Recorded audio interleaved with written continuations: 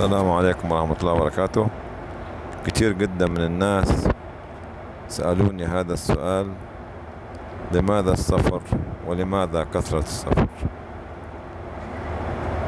وكثرة السفر الإنسان بيكتسب فيها فوائد جمة منها التعلم المعرفة اكتساب الخبرات اكتشاف الحقائق اكتشاف الفرص اكتشاف المخاطر. تعلم الصبر تعلم الجلد معرفة العادات والتقاليد معرفة ثقافات الشعوب معرفة عقائد الشعوب معرفة قيم الشعوب مخالطة الأجناس المختلفة ومعرفة قدرتنا على مخالطة مثل هذه الأجناس صقل الشخصية المجتمعية للفرد منا بناء صداقات وبناء جسور وبناء شراكات محاربة أعداء الإنسانية الذين ينهبون مقدرات الإنسانية لمصالح شخصية. الدفاع عن حقوق المستضعفين في كل زمان في كل مكان. الدفاع عن حقوق المستضعفين في كل زمان وفي كل مكان. إشاعة حاجة الشعوب الفقيرة. والمجتمعات المهمشة الكسب المادي والكسب المعنوي الزواج وبناء الأسر السياحة والمتعة والتمتع ومعرفة خلق الله سبحانه وتعالى في كل مكان في كل زمان.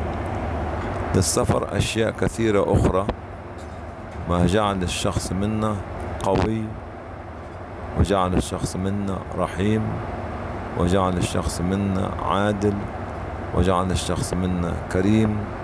وإن كان السفر لله وفي سبيل الله ليه نبتغي به مرضاة الله؟ تحول إلى عبادة وتحول إلى أحد أسباب سلوك دروب الصالحين والعارفين بالله واكتساب المعرفة من المجتمعات التي ترتقي بنا إلى اكتساب المعرفة اللدنية أن رجى الله عنا وعما نفعل.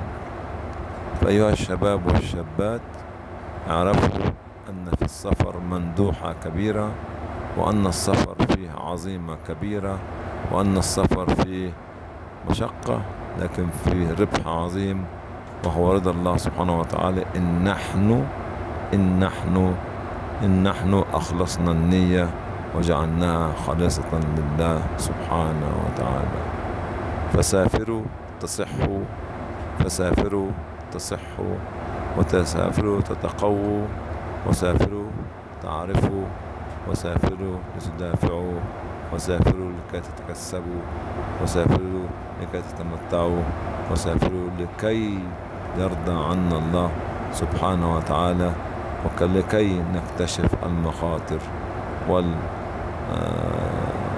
والمسالب لمثل هذه هؤلاء الأفراد الذين يريدون سرقة أموال ومقدرات الشعوب.